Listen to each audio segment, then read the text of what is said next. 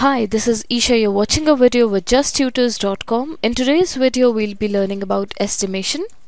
In this lesson, we'll cover rounding of numbers to nearest thousands and then to estimate sum or difference.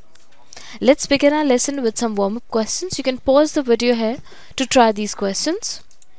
In the first one, we need to find is 41 nearer to 40 or is it nearer to 50? So the answer is 40. In the second one we need to find is 670 nearer to 600 or is it nearer to 700? So the answer is 700. If you've got the same answer it's really wonderful. We are good to start more with estimations. Let's learn how to estimate to the nearest thousands by rounding off. Let's look at this with a small example. Here we need to round the number 63,320 to the nearest thousand. Let's see which two multiples of thousands comes just before and after this number. So 63,000 comes before this number and 64,000 comes after this number which are the multiples of 1000. Now we need to look whether this number is going to lie between 63,000 or 63,500 or is it between 63,500 and 64,000 so it will lie somewhere between these two numbers. So if you are rounding this number it will be rounded off to 63,000 because it's less than 63,500 that is exactly the halfway now let's look one more method how to think about rounding off. So when rounding to the nearest thousand, look at the digit which is sitting at the hundreds place. Like in this number, 3 is sitting at the hundreds place. Now let's look at the rules. If that particular digit which is sitting at the hundreds place is 0, 1, 2, 3 or 4, we need to round down. But if that digit is 5, 6, 7, 8 or 9, we need to round up. This is what we need to be careful about. And as you can see that in this number it was 3 sitting at the hundreds place.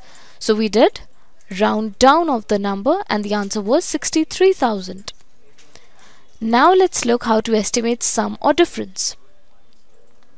Let's look at this with the example if you are required to estimate the answer of 5290 plus 17986, so it's somewhat tricky to do it all in our head. Let's look at the method of estimation so that we can do all this all in our head. Let's round this number 17,986 so it'll be rounded off to 18,000 because at the hundreds place we see that 9 is sitting which is bigger than 5. In this number, 2 is sitting at the hundreds place.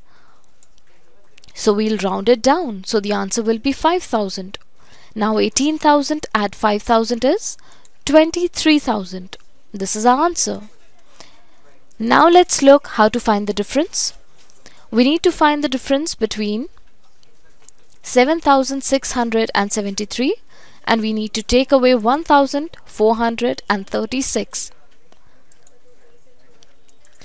7673 rounds off to 8000 because here 6 is sitting at the hundreds place which is bigger than 5 and in this number 1436 at the hundreds place we have a 4 which is less than 5 so this number rounds off to 1000 because we need to round down.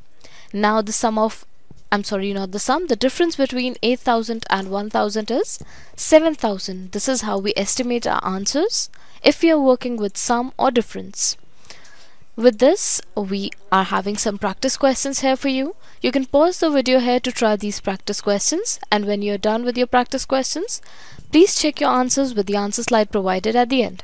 Thank you for watching this video. For more, please visit justtutors.com.